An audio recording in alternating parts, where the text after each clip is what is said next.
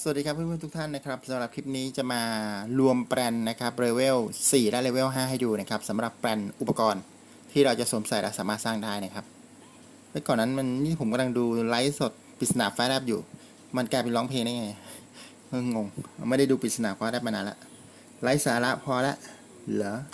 สินค้าแล้วไม่ชอบไม่ปุ้งปิ้ง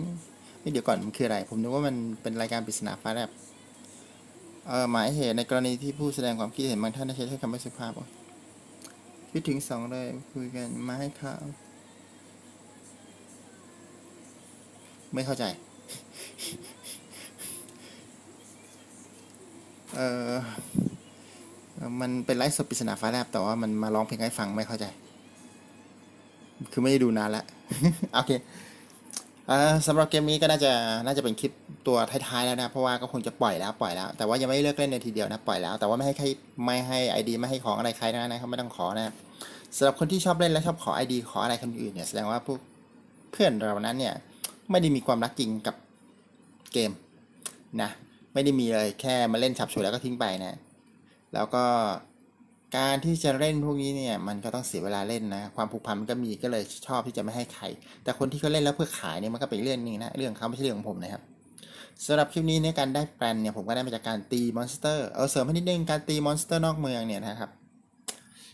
มันสามารถตีได้นะครับแม้ว่าค่าพลังเราจะไม่ถึงเกณฑ์ตามที่เขากำหนดนะครับอย่างผมเนี่ยสามารถตีได้ถึงเลเวล30 เลย แต่ว่าค่าพลังรวมผมเนี่ยแค่ประมาณ2ล้าน5ถึง2ล้าน9เองนะครับแต่ว่าสามารถตีได้นะบางทีก็คนที่เห็นว่าเฮ้ยไพ่มันใช้ค่าพลังเยอะนะ เช่นเลเวลเลเวล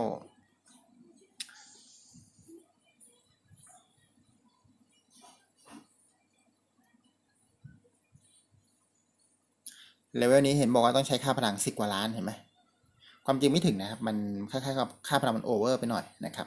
ใช้ประมาณแค่ 2 ล้านครึ่งก็ได้แล้วนะ แต่ว่าก็ต้องเป็นทหารขั้นสูงหน่อยนะครับ แล้วก็ต้องอัพอ่าพวก ฟื้นฟูพลังโจมตีเอ่ออัพพลังโจมตีเปอร์โจมตีขึ้นมาด้วยนะครับมันถึงจะสามารถตีได้ เพราะฉะนั้นถ้าอยากจะรู้ว่าเฮ้ย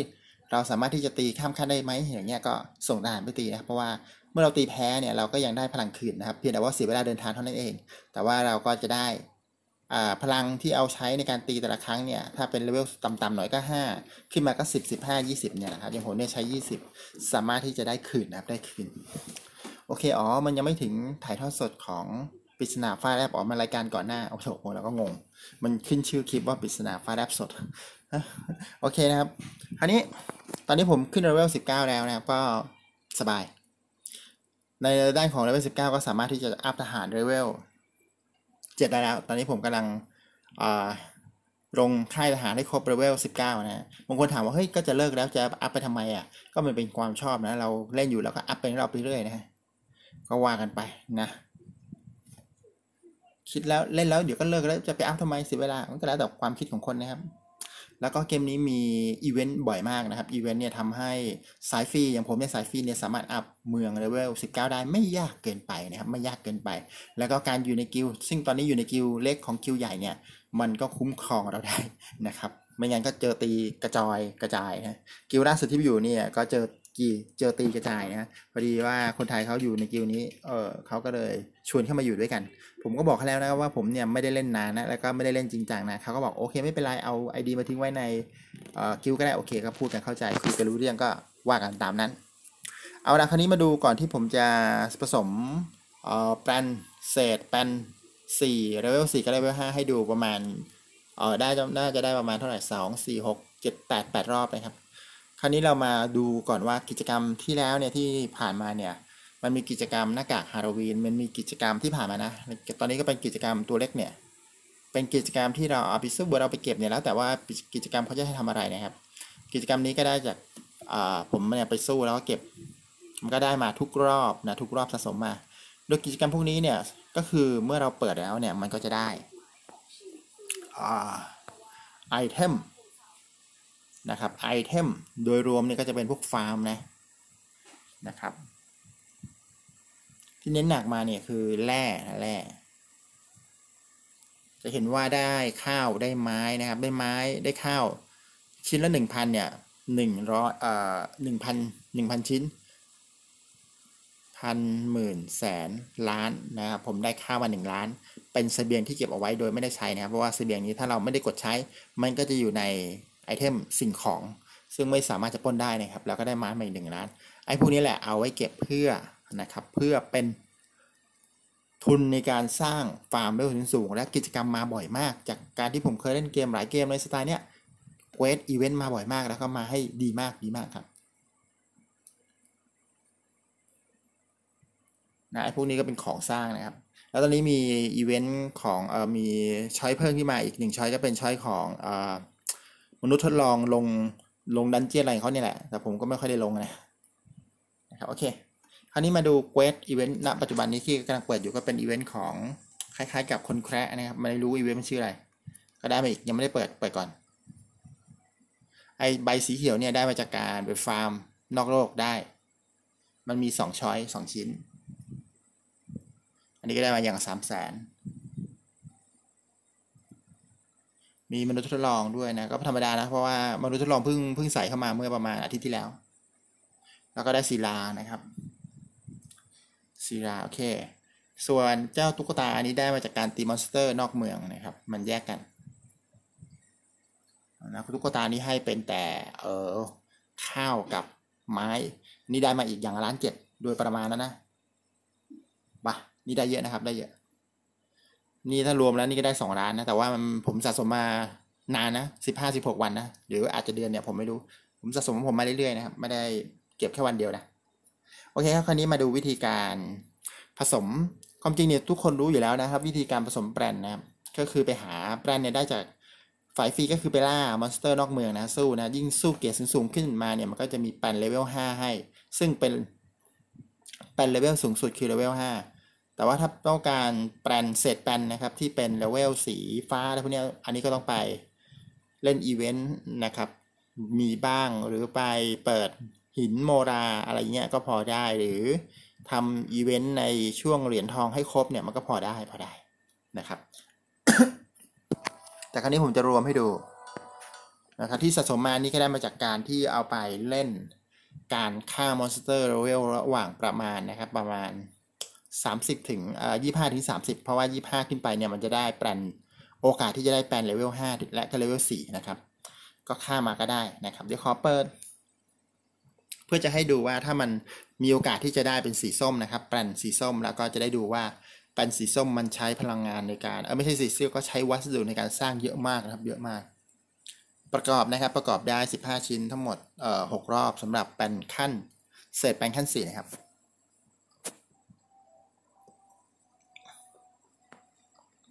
ได้เป็นหมวกม่วงนะครับ หมวกเขียว ได้ดาบม่วง อันนี้ดาบมันนี้มันไอ้ดาบตัวนี้ไม่ค่อยดีนะ เดี๋ยวค่อยดูนะ เสื้อม่วง หมวกซ้ำรองเท้าฟ้าจบแล้ว ขอไปเปิดอ่าอันนี้เป็นแปลนเลเวล5นะครับ นะครับ ไม่ได้อ่าสีส้มให้ดูนะครับ เพราะว่าสีส้มได้ยากนะ เคยเปิดได้ทีนึง เคย เคยผสมได้ทีนึงนะครับ สีส้มนะครับ ได้เป็นเครื่องประดับนะแต่ว่ามันเน้นไปที่พวกกับดักอะไรพวกเนี้ยอ่าแล้วก็วัสดุในการสร้างก็ค่อนข้างใช้เยอะมาก ซึ่งสายฟรีเนี่ยมันเกมนี้มันดีด้านของการอัพเมืองเนี่ยถือว่าไม่ยากเกินไปนะครับ ขึ้น 15เอ่อขึ้น 19 ขึ้น 20เนี่ยพอได้ แต่ว่าในด้านของการสร้างอุปกรณ์เนี่ยโคตรยากเลยต้องบอกเลยว่าโคตรยากสำหรับสายฟรีนะครับที่จะสะสมนะครับเอ่อรองเท้า รองเท้ารองเท้าม่วงรองเท้าม่วงอืมอันนี้ก็ยากนะครับ เพราะว่าท่อนไม้ผมไม่พอ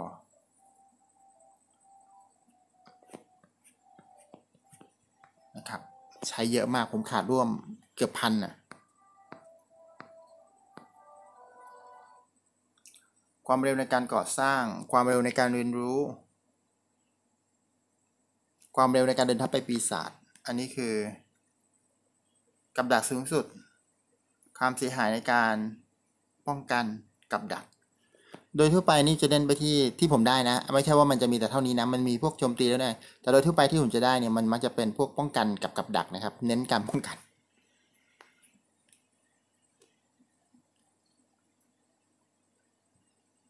ชีวิตปืนใหญ่ความเร็วในการเดินทัพของทหาร โอ้อันนี้ดี อันนี้ดีถือว่าโอเค แล้วก็มีวัสดุด้วยนะครับ ในขั้นสีฟ้านะ มันมีหมวก หมวกไม่ดีนะ เพราะว่าหมวกผมมีดีอยู่แล้ว อันนี้ที่ได้มาดาบนี่นะเป็น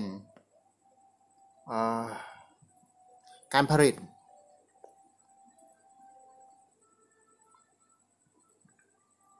การผลิตหมายถึงว่าในเมืองนะครับ เรามีโรงผลิตที่เราสร้างไว้เท่าไหร่นะครับ ไม่ใช่ว่าไปเก็บเกี่ยวนอกโลกคนละเรื่องนะมันมันจะชื่อมันจะชื่อคนละชื่อกัน การผลิตกับการเก็บเกี่ยวคนละเรื่องกันนะครับเรารู้สึกว่ากี้มันจะมีกรออยู่ด้วยนะกรอนี่อ่าเห็นไหมครับว่าความมันจะต่างกันอันนี้เขาจะบอกว่าความเร็วในการเก็บเกี่ยว อันนี้ก็คือเกี่ยวกับการฟาร์มนอกโลกนะครับ อันนี้ก็เหมาะสมกับการสร้าง หรืออาจจะมีปัญญาสร้างแล้วเกี่ยวกับฟาร์มจะได้เร็วขึ้นนะครับ นอกโลกเนี่ย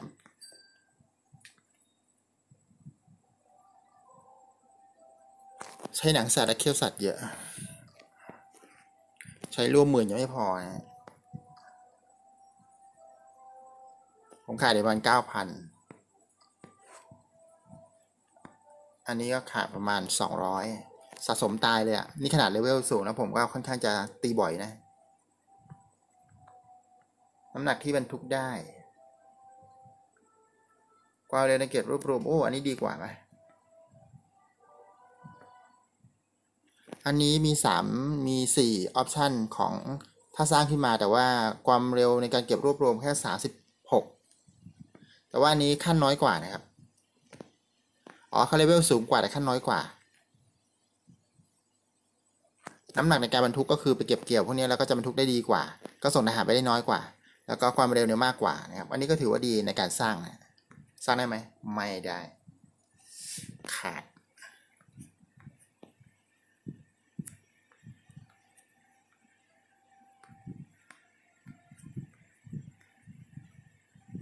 โห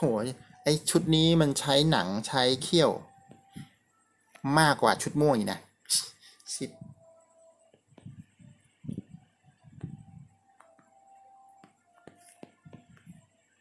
โอเคครับผมไม่ได้สีส้มให้ดูนะฮะแต่ก็รวมแปลนให้ดู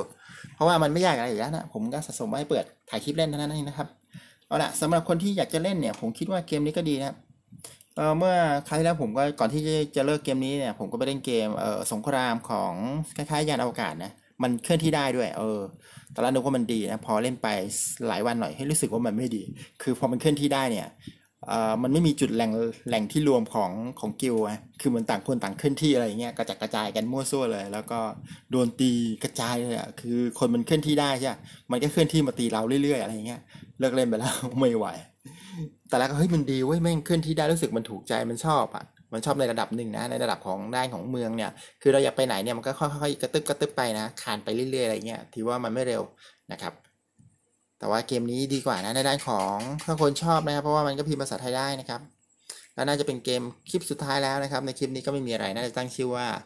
ผสมแปนนะครับ น่าเสียดายที่ไม่ติดสีส้มเอ่อนะสีส้มระดับตำนานให้ดูสักหน่อยนะ เพราะว่าไอจีนั้นผมก็ได้มาจากการผสมนะแปลนนี่แหละมันได้มานะครับ ก็เลยกะว่าสะสมไว้สักสิบกว่ารอบแล้วค่อยมาเปิดถ่ายคลิปเพื่อมันจะติดสีส้มให้ดูบ้างนะ จะได้รู้นะเผื่อบางคนมีตังค์อยากจะไปซื้อแปลนในนี้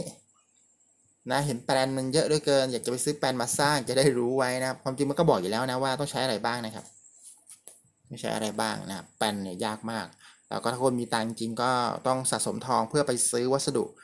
เตรียมไว้เลยเพื่อจะสร้างนะครับเพราะว่าอุปกรณ์หลังๆเนี่ยมันมี skill ซึ่งช่วยช่วยในการโจมตีมากเลยบางทีผมโดนเนี่ยมันมี skill ในการเพิ่มโจมตีเนี่ยรวมแล้วทั้งหมดเนี่ยรวมอาวุธด้วยรวมวิจัยอะไรในเมืองเขาด้วยเนี่ยร้อยสามสิบร้อยสี่สิบอัพเลยนะ พวกผมมาตีเราเนี่ยขนาดทหาร level เท่ากันเรายังแพ้หลุดลุ่ยเลยนะครับ หลุดลุ่ยเลย จริง ๆ เลยนะครับ โอเคครับ ขอบคุณเพื่อนที่ติดตามมารับชมนะครับสำหรับคลิปนี้ก็น่าจะเป็นคลิปสุดท้ายสำหรับตัวนี้นะครับ ตั้งใจว่าจะอัพปราสาทให้ได้ 20 นะครับ ปราสาท 20 มันมีผลยังไง ไม่มีผลนะครับ ต้องปราสาท 22 ถึงสามารถจะอัพทหาร level สา level 8 ได้ แต่ปราสาท 20 สามารถอัพศูนย์วิจัยเลเวล 20 ได้ ศูนย์วิจัยเลเวล 20 สามารถวิจัย เอ่อ สามารถวิจัยเดินทัพทัพที่ 4 ได้นะครับ ทัพที่ 4 ได้เมื่อศูนย์วิจัยถึง level 20 จะมี skill นะครับที่อัพ level ในการเดินทัพทัพที่ 4 ได้ ก็ต้องอัพไปตามขั้นนะครับ ไม่ใช่ว่าเราไม่เคยอัพอะไรเลยในเส้นทางของการเดินทัพครั้งที่ 4 พอศูนย์วิจัยขึ้น level 20 แล้วจะได้เลยไม่ใช่นะ เราก็ต้องอัพไปตามเส้นทางมันก่อนด้วยนะครับ ขอบคุณเพื่อนที่ติดตามรับชมนะครับ ขอบคุณมากครับ